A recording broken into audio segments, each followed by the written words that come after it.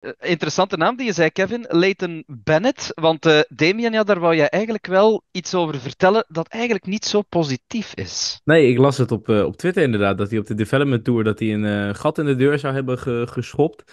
Oh ja, joh. Ja, ja, en dat hij daar een, een boete voor heeft gekregen. Dus het, is, ja, het, is, het komt het al, altijd wel een beetje als een opgewonden standje over. Maar goed, hij heeft dus een gat in de deur geschopt of geslagen. Ik dacht geschopt dat het was. Ik had wel gelezen dat er een protocardhouder was die eh, problemen had, eh, had gemaakt, maar ik wist niet wie het was. Nou, maar bij ja, het is, ook, de- qua- ja, het, is een, het is een talent, maar het is wel echt een heethoofd. Ja, Oké. ja. Want waarom merk je dat dan, dat het echt een dus. heethoofd is? Maar eh, je hebt al filmpjes van hem gezien sinds hij 14 jaar is en er zijn altijd wel problemen met hem geweest. Ja, ja ik, ik, heb, ik ken ook een verhaal van inderdaad dat hij tijdens corona inderdaad in, eh, in zo'n online toernooi, dat hij ook online stond hij ook te schreeuwen en, en mee te doen in zijn schuur, weet je wel. Dus dat denk ik ook, ja. Het is inderdaad, ik weet niet of het een show is, maar da- daarin, dat is in ieder geval zijn spel dan, denk ik. dat weet ik niet.